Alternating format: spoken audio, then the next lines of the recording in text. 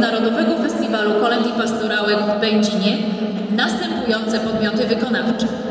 Weronika Zielińska ze Szkoły Podstawowej nr 22 w Jaworznie, Schola Jezusowe Promyki z parafii Matki Boskiej Częstochowskiej w Ksawerowie, Zespół wokalny Nadzieja ze Szkoły Podstawowej nr 1 w Sułoszowej, Zespół wokalny z Gimnazjum w Sułoszowej, Adrianna Wójcikowska, z Młodzieżowego Domu Kultury w Katowicach, Aleksandra Ruj z Młodzieżowego Ośrodka Pracy Twórczej w Dąbrowie Górniczej i Magdalena Wydryński z Raciborza.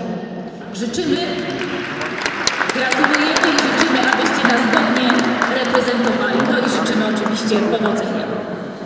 I nadszedł czas, by ogłosić, kto zdobył Grand Prix 13 Diecezjalnego Festiwalu Kolęd i Pastorałek, a ogłosi to sam fundator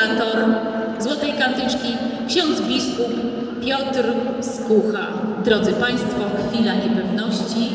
Każdy typuje spośród tych, którzy występowali swoje, swoją złotą kantyczkę, ale złota kantyczka jest tylko jedna, ufundowana przez księdza biskupa. Księże biskupie, nie trzymajmy już w niepewności. Kto ją zdobył?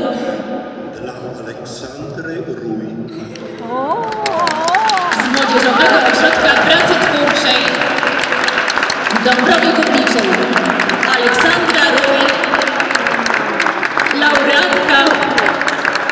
importante.